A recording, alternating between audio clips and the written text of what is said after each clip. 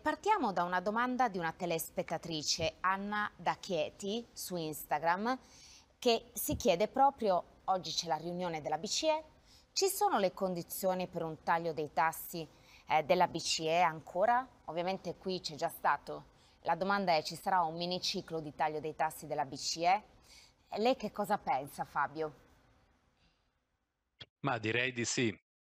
Probabilmente la BCE non taglierà i tassi di interesse oggi, anche perché andare senza la Fed, cioè senza che anche la Fed abbia tagliato i tassi eh, per due volte di fila in tempi così ravvicinati sarebbe forse un pochino troppo aggressivo. Noi pensiamo che a settembre però eh, la, BCE, la, BCE, troverà nuovo coraggio per tagliare i tassi, probabilmente lo farà anche a dicembre. Ragionamenti quali sono? Che da un punto di vista della crescita, eh, sebbene le cose non vadano poi così male in Europa rispetto alle previsioni eh, della BCE, BCE la crescita sta andando, diciamo così, un pochino più a rilento di quello che la BCE si aspetta e quindi ci sta che taglino a settembre. Magari che aspettino però e non taglino subito ci sta anche perché um, l'inflazione soprattutto nella componente dei servizi si sta dimostrando per ragioni tecniche probabilmente temporanee però un po' più uh, resiliente delle attese. Quindi è ragionevole immaginare che oggi stanno fermi uh, ma vadano taglino i tassi a settembre e poi di nuovo a dicembre L'inflazione che stiamo vedendo e che lei citava Fabio che effettivamente è stata in calo ieri rispetto al dato di maggio, quindi per rispondere ad Anna noi diremmo le condizioni ci sono tutte, però lei appunto sostiene non oggi, però magari a settembre, perché secondo lei aspetterà la Fed, la BCE? Aspetterà un segnale dalla, dalla Fed, perché mm. anche a settembre la BCE si riunirà prima della Federal Reserve, però c'è Jackson Hole. Uh, noi eh, crediamo già. che a Jackson Hole a fine eh, agosto la Fed aprirà le porte per un taglio a settembre. Ci immaginiamo una BCE che crederà alle parole e alle indicazioni della Fed e quindi con un cuore un po' più leggero taglierà i tassi a settembre uh, qualche giorno prima di quanto poi farà la Fed. Chiarissimo. Eh, c'è un'altra domanda di un telespettatore, no? Virgilio ci scrive da Verona su TikTok.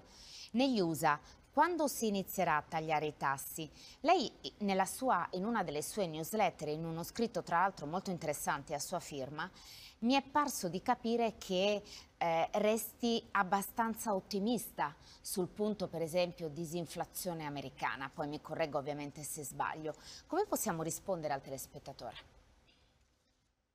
Allora, eh, risponderei in questo modo. Per quanto riguarda il quando, la risposta è settembre. Direi che eh, oramai anche molti governatori che in passato invece si sono dimostrati un po' più, diciamo così, attendisti, hanno, stanno aprendo la porta uh, per un taglio che con tutta probabilità secondo noi avverrà a settembre dopo un'indicazione data al simposio di Jackson Hole a fine agosto. Uh-huh. Sul quanto uh, ci dobbiamo interrogare. Il, la nostra risposta è che probabilmente la Fed entrerà in un ciclo ciclo di tagli cosiddetto disinflazionistico, cioè l'idea è tagliare i tassi di interesse perché l'inflazione sta scendendo, non perché l'economia uh, sta rallentando, perché quello aprirebbe, diciamo così, al tema di tagli ai tassi di interesse uh, in caso di recessione mm-hmm. o con vista sulla recessione, che non è il nostro, il nostro baseline. Ovviamente questo significa due cose, da un punto di vista proprio uh, dei tassi, che i tassi che il mercato uh, prezza o incorporerà non possono essere molti più di quelli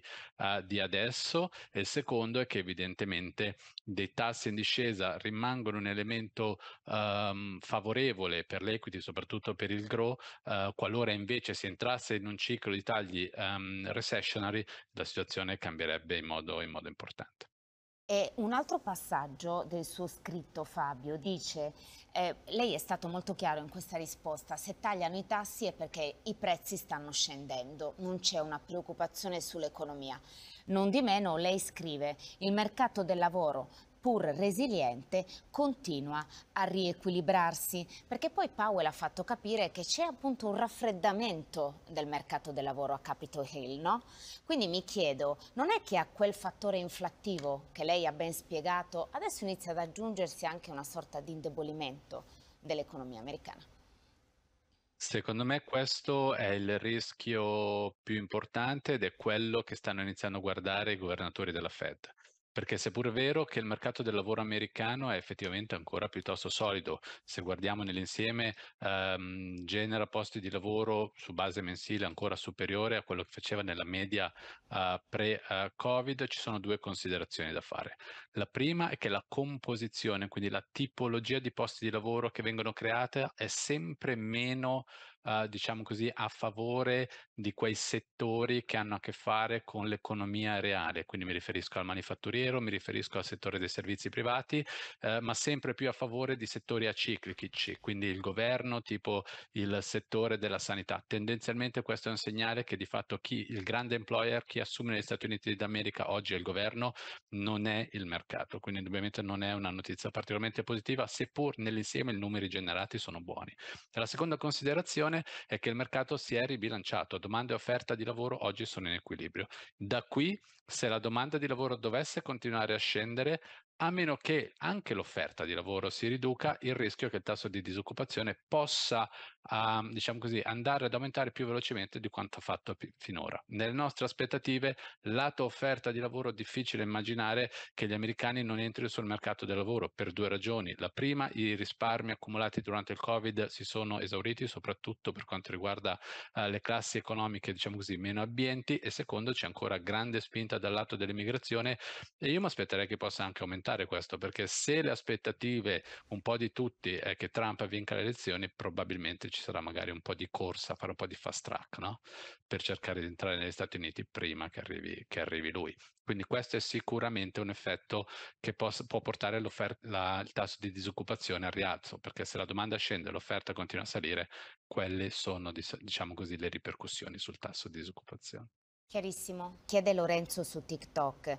Con tutto quello che accade sul fronte geopolitico, il vostro scenario, quindi quali sono le attese per i prossimi mesi sui mercati per questo 2024? Fabio, parto da lei, veramente telegrafico.